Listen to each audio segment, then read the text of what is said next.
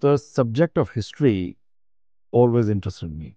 And I was an art student as well. So if you see the evolution of humankind, you can narrate and you can relate through the built form, you know, from the caves to the ancient times, to the Roman times, to the medieval times, to the Renaissance, the modern age. And that layered with technology and layered with art, layered with human experience. So it encapsulates the basic spirit of the endeavor of humankind itself, which is something which encapsulates everything. So that is why it always interests me. For me, I've always been drawn on how our environment shapes our inner world. And working with architecture, working with Habitat and Zafar, it somehow pulled out that language in which I could express myself better.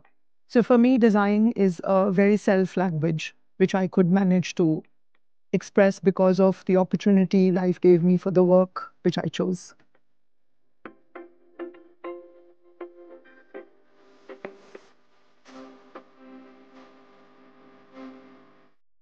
A hospital will serve a different function, an airport will serve a different function, a school will serve a different function by its very definition. But that's one part of it. An architect's role is to enhance that experience. Our process is very sensory. It's grounded with intuition.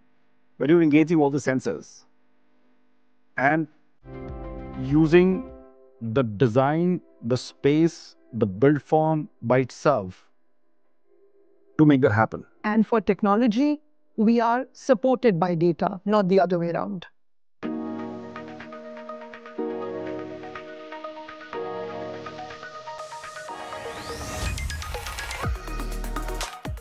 We always believe in a very collaborative approach to architecture itself. This project that we did recently is a residential project called Garden State, where we actually collaborated with different kind of tradesmen, with the craftsmen, with the artists, making pieces of art for certain spaces, designing fabrics, designing wall textures, designing carpets. Collaboration at a very grassroots level with all the kind of craftsmen there were times we're looking at what kind of chandeliers, what kind of lighting the house is going to need, especially the decorative part of it, which also becomes like an art installation. It's good fun when you start doing projects and you start, you know, then the project is living, it's breathing, it's collaborative. The client is there, the artisans are there, you are there. That project is uh, something which is very close to our heart because it's joint vision and joint effort to make that happen.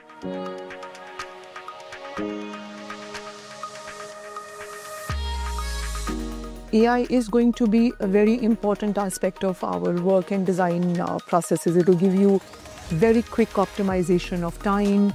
It will give you a lot of options. Your iterations will become much faster. But at the end of the day, it is your vision, it is your idea, and the objective is to create that space for the humankind. The space which one designs needs an human intelligence. It needs that soul. It needs the feeling inside. You need the heart where it needs to be. Because there is going to be a human who's going to live in this house. So AI will just be a tool to achieve that objective. Like I would say, AI would become a very strong design companion.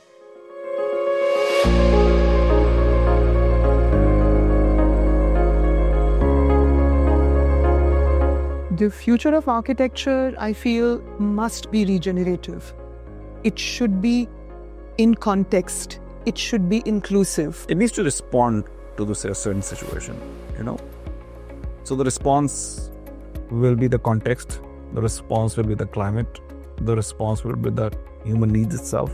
The response will be the existing technology at that point of time. So it's not about the style or the trend you know, it's far deeper than that. Please build with conscious, design with more conscience, travel more, travel deeper, understand the experiences, work around your emotion more than the style, respond to the context, respond to the people you are working for.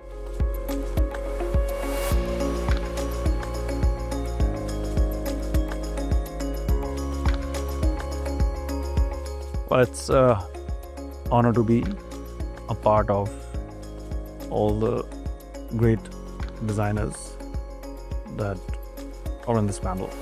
I hope this platform encourages much more conversation on design, more dialogues, more which are intentional, more sensitive, and more future forward. Thank you so much, Forbes India and Kohler, to creating this uh, fantastic platform for design voices to be heard.